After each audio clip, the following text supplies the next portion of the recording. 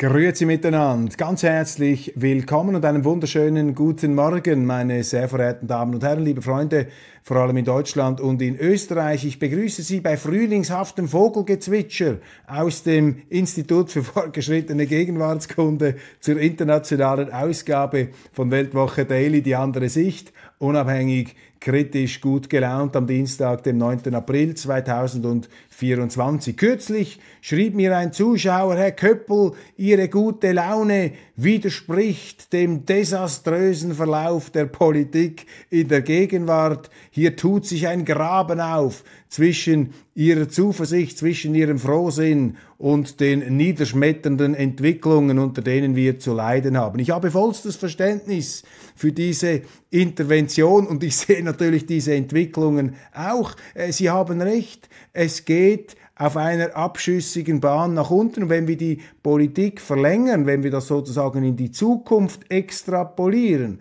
dann landen wir tatsächlich in einem Abgrund des Unfriedens und der Wohlstandszertrümmerung auf Kosten zukünftiger Generationen. Die Missstände sind bekannt, wir sprechen sie auch an in dieser Sendung, aber etwas ist mir ganz wichtig. Ich möchte eben nicht die Verdrossenheit sozusagen bewirtschaften, die Zuschauer darin bestätigen, in auch einer Art von Selbstgerechtigkeit mit dem Finger auf die Politiker zu zeigen. Das gilt in der Demokratie eben nicht, auch in unvollständigen repräsentativen Demokratien nicht. Aus schweizerischer Sicht ist ja eine repräsentative Demokratie dysfunktional, weil sie eben nicht die direkte Demokratie haben, sozusagen die Möglichkeit, hier auch mit Referenden und Initiativen einzuwirken. Trotzdem darf man sich da nicht der Zermürbung, der Enttäuschung, der Verzweiflung ausliefern, sondern das Ziel meiner Sendung besteht eben auch darin, sie zu motivieren zum Engagement oder wenigstens zum Widerspruch. Das ist wichtig. Die Politik ist zu wichtig, als dass man sie den Politikern überlassen kann. Das ist äh, der Sinn, das ist sozusagen der Gehalt, aber eben nicht die Schönfärberei und meine gute Laune soll auch nicht darüber hinwegtäuschen, dass es da draußen eine Reihe von ganz besorgniserregenden Entwicklungen ähm, gibt. Nun, ich schaue mir ja relativ ähm, breit die Medien an und es gibt Zeitungen, die ich besonders schätze. Eine ist ein Wochenblatt, die Tagespost, ein katholisches äh, Organ, ähm, immer wieder auch mutig gegen den Mainstream und ich lobe das als Reformierter. Und, in der aktuellen Ausgabe erblicke ich folgende äh, Titelgeschichte, die in mir allerdings für einmal qualifizierte Zweifel auslöst. Ein Stirnrunzeln empfacht, Garant unserer Sicherheit. 75 und kein bisschen Hirntod. Nie war die NATO so wertvoll wie heute. Ja, da bin ich jetzt nicht so sicher, ob das ähm, tatsächlich die Wirklichkeit 100% trifft und ich empfehle Ihnen vor dem Hintergrund der äh, NATO-Jubiläen und dieser Geburtstagsfeierlichkeiten eine Gegenstimme. Hier Sevim Daktelen, die Kollegin von Sarah Wagenknecht in dem neu gegründeten Bündnis. Sie hat eine Streitschrift, eine kritische Beurteilung der NATO veröffentlicht. Die NATO eine Abrechnung mit dem Wertebündnis. Und ich sage das als jemand, ähm, der mit der NATO aufgewachsen ist. Ich hatte immer ein positives Bild von dieser Militärallianz. Wenn ich zurückdenke an meine Jugendzeit, da waren die Begriffe NATO und Freiheit,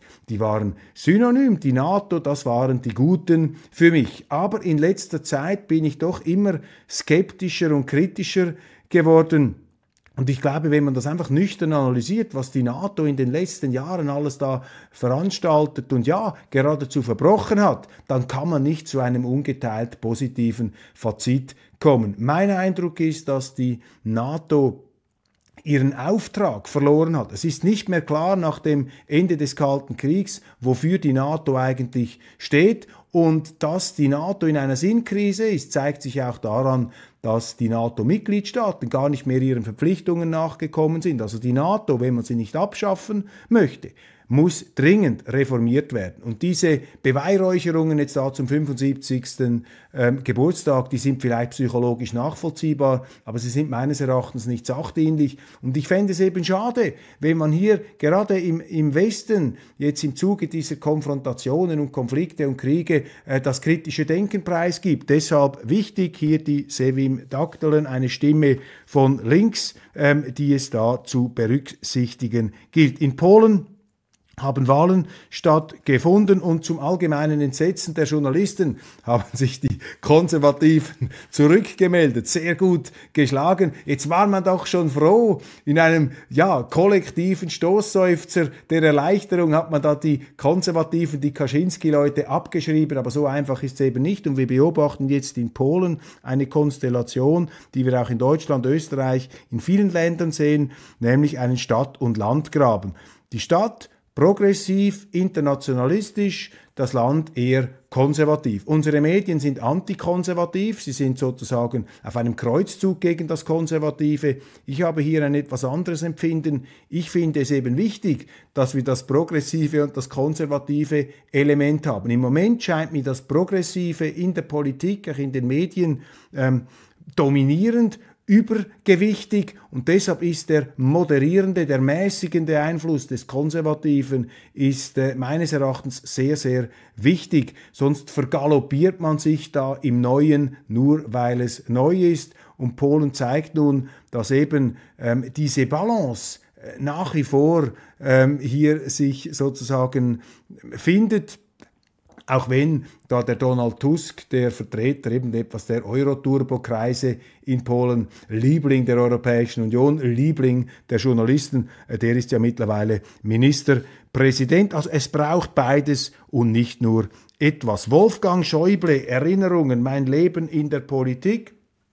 Posthum erschienen ähm, die Autobiografie, die Memoiren des deutschen ähm, Politikers, der in den Medien jetzt ähm, als herausragend gefeiert wird, fast etwas äh, Wolfgang Schäuble Gottesdienst. Ich ähm, war jetzt nie Teil seines Fanclubs, habe ihn immer respektiert, doch ein intelligenter Politiker, aber für eine rückhaltlose Jubelhymne gab es mir einfach zu viele Fehlentwicklungen, bei denen Wolfgang Schäuble mittendrin war. Nicht zuletzt die Entwicklung einer CDU, die ja sozusagen äh, von einer bürgerlichen sich sehr stark in eine linke Richtung äh, da transformiert hat. Und der Wolfgang Schäuble, der jetzt meines Erachtens sehr, sehr unkritisch da, gut, äh, man soll über Tote nichts Böses sagen, aber vielleicht fast schon unrealistisch gewürdigt wird, der war ja immer mittendrin. Das Zweite, aber da stütze ich mich jetzt einfach auf die ähm, Medienberichte. Das Zweite, was mich da etwas misstrauisch oder stutzig macht, offensichtlich sind in diesem Buch sehr viele Indiskretionen äh, drin. Ähm, er plaudert da oder verrät auch Vertraulichkeiten, Gespräche mit Politikerkollegen. Das eine und andere ist jetzt bereits in den Schlagzeilen.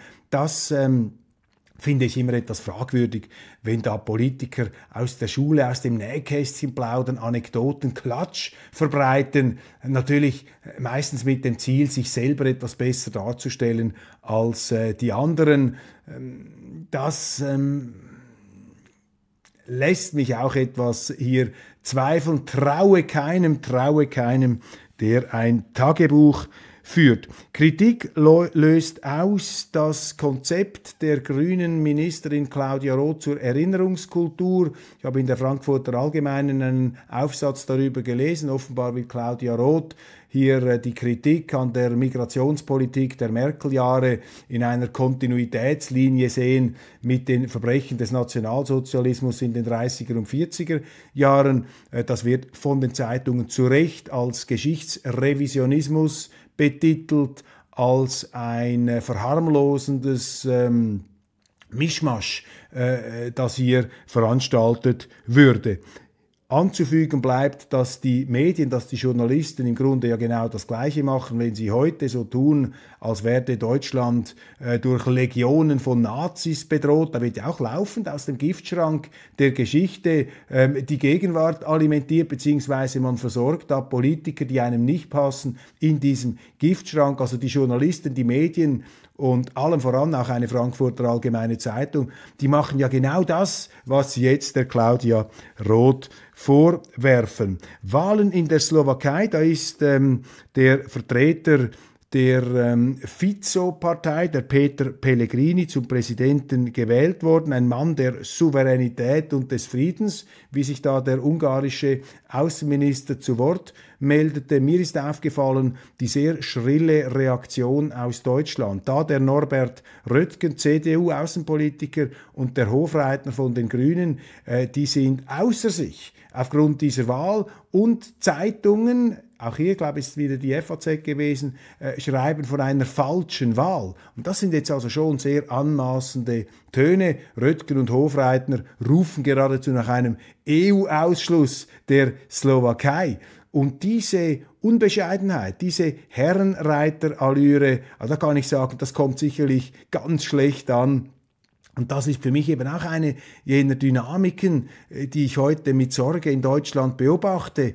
Äh, diese Auftrumpfer, diese wichtigtuerische Attitüde, die sich da äh, zusehends zur Geltung bringt, die da zusehends so auftrumpfend, aufblusternd in Erscheinung tritt, das ist doch nicht die Aufgabe Deutschlands, hier Zensuren zu verteilen. Diese Unbescheidenheit. Und ich äh, treffe auch viele Deutsche in der Schweiz, denen das äh, sehr unangenehm ist, denen ist das geradezu peinlich, dass die Politiker da dermaßen abheben und ohne sich zu spüren hat man den Eindruck, einfach andere Länder, andere Völker ähm, da maßregeln, weil sie nicht so gewählt haben, wie sie das nun gerne gehabt ähm, hätten. Nicaragua, Nicaragua verklagt Deutschland zur Beihilfe der verklagt Deutschland äh, zur Beihilfe zum Völkermord. Man sagt, die Deutschen würden da Israel ähm, unterstützen und in genozidalen äh, Bestrebungen da stützen mit Waffenlieferungen und so weiter. Das ist jetzt eine Klage, die da in Den Haag verarbeitet werden muss. Ich bin ja ein Skeptiker bei diesen Begriffen mit Genozid. Ich glaube nicht, dass das ein Genozid ist, was da die Israeli machen in Gaza. Es ist zwar eine fürchterliche Form der Kriegsführung, die man zu Recht kritisiert, die übrigens auch in Israel stark kritisiert wird, aber bei einem Genozid, da muss doch auch das Motiv der systematischen Ausrottung muss einfach da sein. Und ich warne davor, diese moralisierenden Begriffe so leichtfertig zu verwenden. Man macht das heute so aus dem Handgelenk heraus. Überall gibt es Genozide. Da haben wir einen Genozid, da haben wir einen Genozid.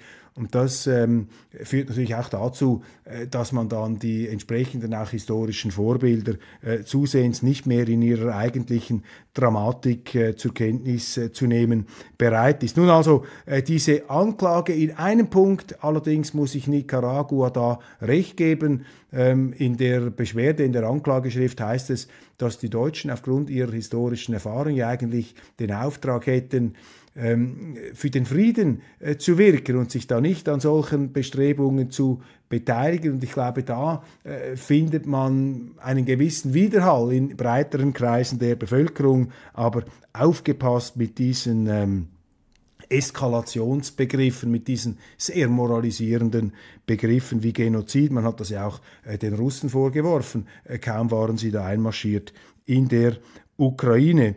Die Bild-Zeitung empört sich über Gerhard Schröder. Fassungslos ist da der Reporter Paul Ronsheimer, weil es Leute gibt, die Gerhard Schröder zum 80. Geburtstag gratulieren. Ja, die Medien, die Journalisten sind heute in Deutschland ähm, leider allzu oft Vorkämpfer der Meinungseinfalt, der Intoleranz die eben sich empören, die sich echauffieren darüber, dass einem ehemaligen Bundeskanzler zum runden Geburtstag gratuliert wird. Das zeigt ihnen eben auch den Grad der moralisierenden ähm, Ver Ver Vereinseitigung des, des Meinungsspektrums was eben das Gegenteil ist eigentlich von, von Demokratie. In der Demokratie müsste man ja offen sprechen und wäre es ja interessant, wenn ähm, Persönlichkeiten, die früher eine äh, bedeutende Rolle in der Politik gespielt haben, wenn die eine andere Meinung haben. Aber da will man sich offensichtlich nicht darauf einlassen. Dann ähm, in der Kritik auch äh, nach wie vor Björn Höcke, der AfD-Mann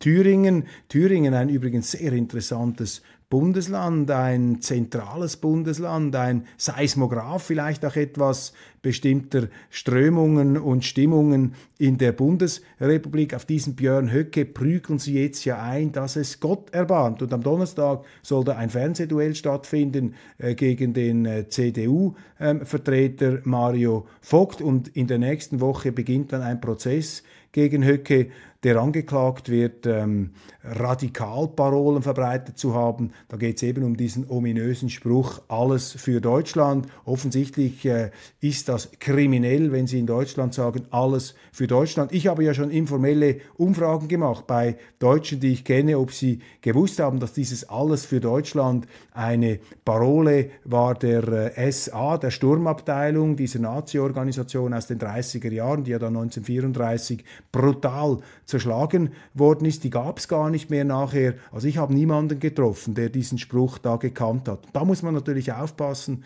dass äh, sich sozusagen das offizielle Deutschland eben nicht in so eine Art ähm, ja, äh, meinungstyrannische äh, Entwicklung äh, da hinein bewegt und dass man solche Sätze kriminalisiert, ähm, die nun wirklich nicht ähm, jetzt im breiteren Bewusstsein ähm, in ihrer ganzen geschichtlichen Kontaminiertheit zu erkennen sind. Hat übrigens der Rupert Scholz, der frühere Verfassungs-, also der Verfassungsrechtler und frühere Minister, einen sehr interessanten Leserbrief in der Frankfurter Allgemeinen Zeitung geschrieben, wo er diese Tendenz kritisiert, vor allem auch des Verfassungsschutzes, der da zusehends sich aufschwingt, erlaubte und nicht erlaubte Meinungen dazu postulieren. Da sagt ähm, Scholz äh, sinngemäß, Rupert Scholz, sinngemäß, dass dies undemokratisch sei, das sei nicht der Auftrag des Verfassungsschutzes zwischen erlaubten und unerlaubten Meinungen zu unterscheiden. Und in dieser